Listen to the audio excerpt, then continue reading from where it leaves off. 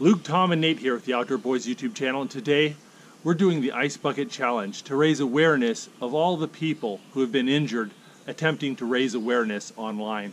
Yes, every year thousands of people are seriously injured in an attempt to raise awareness. And in order to help bring attention to their suffering, we're going to do the Ice Bucket Challenge to raise awareness of people being injured, raising awareness. Are you guys ready to do this? Yeah. Yeah. All right.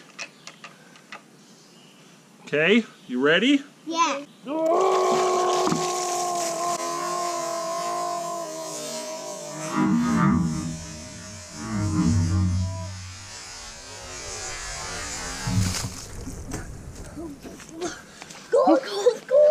So people, please like and share and click subscribe. And remember, be aware that raising awareness can cause injuries. Thank you. If you like this video, don't forget to check out the Outdoor Boys YouTube channel where we have hundreds of videos just like this. And don't forget to click subscribe so you can see other great videos every Saturday morning and hit that bell button so you'll get notifications. Thanks for watching.